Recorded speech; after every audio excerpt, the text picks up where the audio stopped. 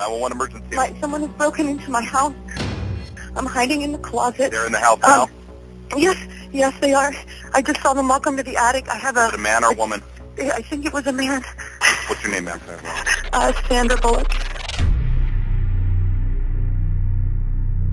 Sandra Bullock was in a near death situation. Her home was stalked for days until a 39 year old man named Joshua decided to break in and make Sandra's life a living hell. He antagonized her and called Sandra his wife until one day he decided to take his own life because he couldn't spend it with Sandra Bullock. So let's get into it. Sandra Bullock is one of the biggest actresses in Hollywood, but unfortunately, whenever you're that big of a star, you have a target on your back. Sandra Bullock's horrifying encounter with an obsessed intruder, the alleged stalker, is accused of breaking into the star's mansion and then coming face to face with her. So, we're going to be talking about an incident where Sandra's stalker literally broke into her home. This all went down back in 2014, and this man was stalking her for days before he was arrested at her Bel Air residence. So, let me take you guys back to June 8th, 2014. At about 6:30 in the morning, Sandra was asleep in her bedroom on the home's second floor. On this day in particular, her son Louis wasn't at her home. He was with the babysitter. Sandra adopted Louis back in 2010, and she decided to take her son to her apartment, which is up the street because she was going to have a late night. This is horrific. So she woke up because she heard strange noises coming from her exercise room. The exercise room is on the third floor of her home. So she got out of bed and tried to figure out what this noise was. When she walked into the workout room, she saw a man wearing a sweatshirt and pants. Sandra immediately realized something was wrong here and ran. Just how close America's sweetheart came to an alleged stalker inside her own home. Police say loud bangs woke up Sandra Bullock early one morning last month. That's when she saw a man dressed in dark clothes walking in her hallway right past her bedroom. Sandra then ran to her bedroom and then her closet, but she claims that if her son was home, she would have ran to his room, which would have changed their destiny forever. Bullock's son Louis was staying with a babysitter because that night she was attending Spike TV's Guy's Choice Awards. I'm still convinced that i w- I'm here because someone dropped out and they needed someone quickly, and they know I'm home on Saturdays. So she had a normal night. She had a work event, the babysitter's taking care of her son. Everything was great until she saw this man in her home and now she's locked in her closet. Sandra was quoted saying that she was in her closet telling herself this doesn't end well because she's been watching 48 Hours and Dateline for years now, so she knows what happens when an intruder breaks in and they have a motive. Naturally, Sandra called the police and now we have that phone call and you can hear how scared Sandra is talking to the police officer. So let's go ahead and react to some of this. It's about a 16 minute call, but they've trimmed it down to two minutes. 911 emergency. My, someone has broken into my house. I'm hiding in the closet. They're in the house now. Um, yes, yes, they are. I just saw them walk into the attic. I have Is it a a, man or a woman? I think it was a man, What's your name, ma'am? uh, Sandra Bullock. All right, Sandra, I'm going to stay on the phone with you till the officers get there, okay? Okay. I want you to let me know if you hear or see anything at all. I, I'm, I'm in my closet. I don't think I could see anything. I have a safe door in my bedroom, and I've, I've locked it, and I'm locked in the closet right now. Okay, don't hang up. I'm going to be dispatching the police, okay? Don't hang up on Okay. me. Do you have any weapons? Are you armed? Oh, no, I'm not. I hear someone banging on the door. To your bedroom? Yes. 8029 suspects now attempting to gain entry to the bedroom. Are they close? I don't, we don't have a way to track where they are. I just know that Okay. they've been en route for about four minutes since the call Okay. came in. Okay, there's an officer pulling up now. Do not go out there. Do what? I'm sorry. I said do not go out there. Okay, and just I'm, I'm, have them walk around. I'll stay right here. I'm going to let you know what they're going to do, okay? Is that them knocking at my door? Are you knocking on the door? I hear them in I hear them. And tell them, no, I saw the guy go upstairs into my attic. They're entering, so they've got an I open hear door, them. so they're coming in, okay? Uh, I hear them, yeah. Thank you so much for being so nice. Thank you. Three five stand by, team suspect in custody. They're, okay, they're taking him into custody now. Oh, they have them? They have him. You can hang up. Thank you, ma'am. Okay, thank you so much. That is so scary. I can't imagine being in that moment, and it really just sounds like an excerpt from a horror film. It only took the police a few minutes to get to her home, thank God, and they found a 39 year old man named Joshua there. When they got him into custody, they realized that he had a bunch of different things, including photos of Sandra and some more things. A list actress locked herself in and called police. When they arrived at her Hollywood home, they say Joshua James Corbett was inside and that he screamed, Sandy, I'm sorry. Please don't press charges. He's over here calling Sandra Sandy like they know each other, and he doesn't want her to press charges even though she's scared for her life. And I would be too, because he not only had photos of her, but also had letters that he had written to her, and some of these letters are just next level. They saw Corbett walking down a staircase. He said, I'm sorry. I love you. Detective Christina Carlozzi read a handwritten letter police say Corbett was carrying that morning, in which he professes his love for Bullock and says he wants to have sex with her.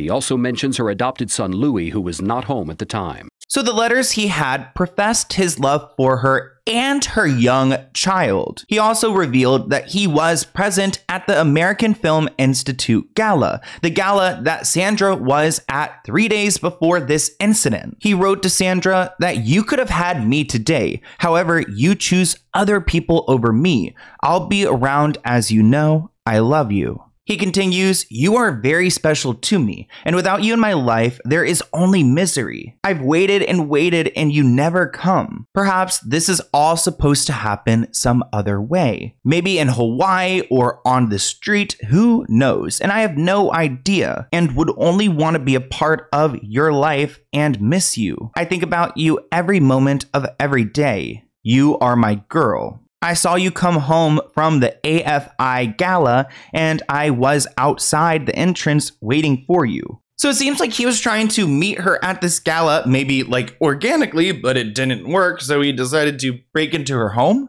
One of them read, You are very special to me, and without you in my life, there is only misery. Another said, I will forever be thinking of you and Louis, my son, as you are my wife by law. Along with his possessions, police also discovered that he had a small aircraft. I'm not sure how he could afford this aircraft, but supposedly he had already received eviction notices for it, so he wasn't paying the bills. But I wonder if he had this plane as part of a plan to like capture her and escape with her. We don't know those details. But we did find out how he broke into her home. He did so by scaling two gates and forcing his way through a glass door in the house's sunroom. But they're not entirely sure how long he was on the property, so I'm guessing guessing they didn't have cameras? When the police confronted him, of course he tried to act innocent. The stalker revealed to authorities that he had no intention of harming the actress. He intended to expose the inadequacies of her property's security system. So he told police that he didn't want to harm Sandra, he didn't even want to scare her, he just wanted to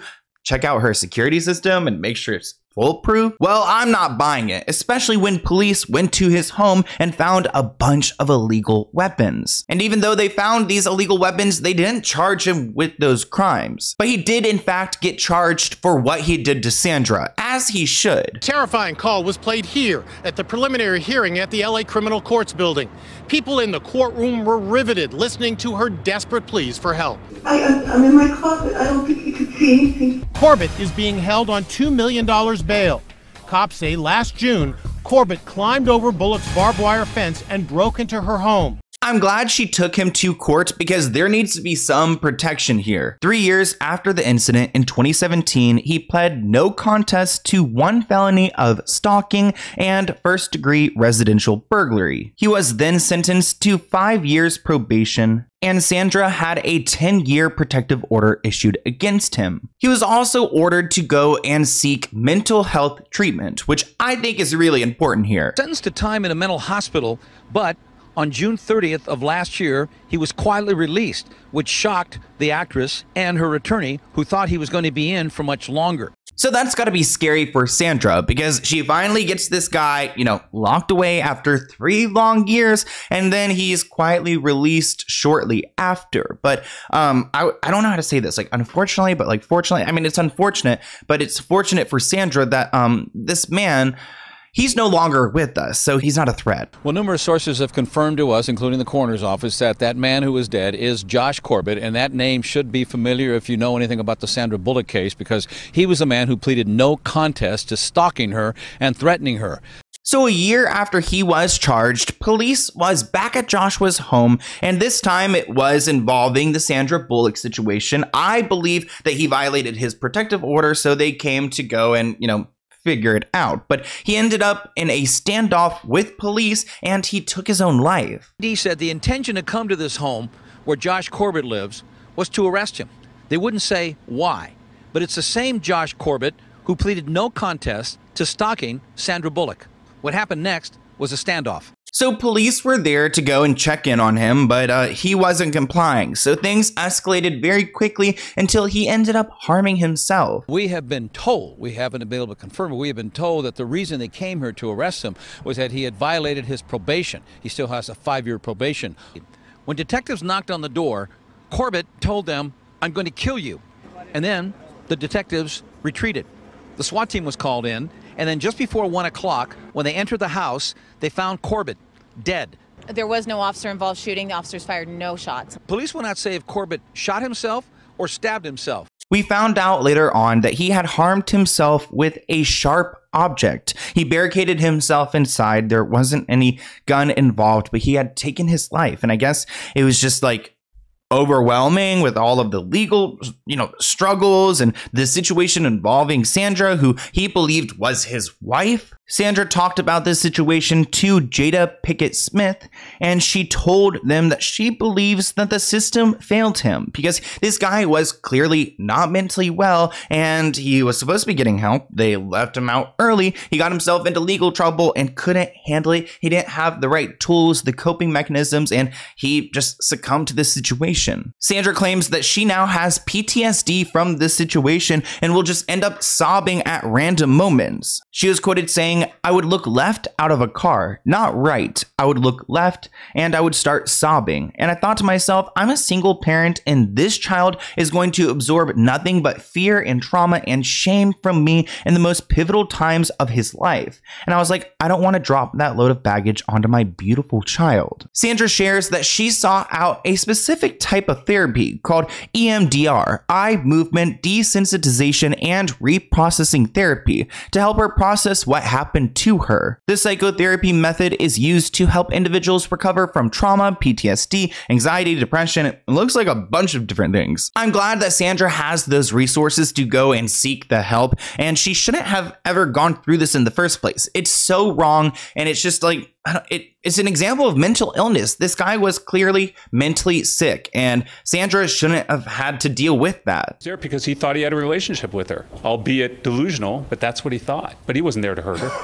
There is not a more clear-cut case of stalking than this one. So, this is another crazy Hollywood story I came across and I had to share with you guys. I want to hear what you guys think in the comments below. Here's my email. Let's go ahead and open this P.O. Box package item from Elizabeth. It looks like they're from literally like Virginia, like very close to where like I'm from. Like, hey, we're like in the same neighborhood. Um, but it says Eats by Liz Jones. So let's go ahead and see what they sent me. Maybe it's like food or something. I don't know. I'm not trying to assume, but they said Eats. So let's see. Whoa. So first off, we have these super cute stickers right here. And then we've got this letter. Hi Sloan, I've been watching your videos since COVID 2020. That's when I started. And I'm thankful for how you exposed Hollyweird and all the scary things that these celebrities are involved with.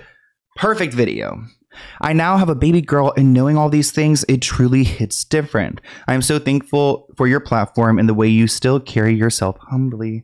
I always wanted to send you something, but never knew what. I recently became a Nut Pods ambassador, so I decided to send you some of my favorite. Ooh, they're all plant based and unsweetened. The flavors are toasted marshmallow, French vanilla, cinnamon. Um, and it looks like you have a code Eats by Liz for 15% off Eats by Liz Jones. So I will include all that information below. They can click the link on IGQ. And once again, thank you for my small family for the dedication and hard work. Oh, that is so sweet. God bless you. Thank you so much. I really appreciate that. I love that, Liz. And like, there's some of the information there. Cute. We love that. And I will list everything below. And oh my gosh, First off, I've been wanting one of these things for so long, a milk frother. Like I see people like mix matcha and things with that.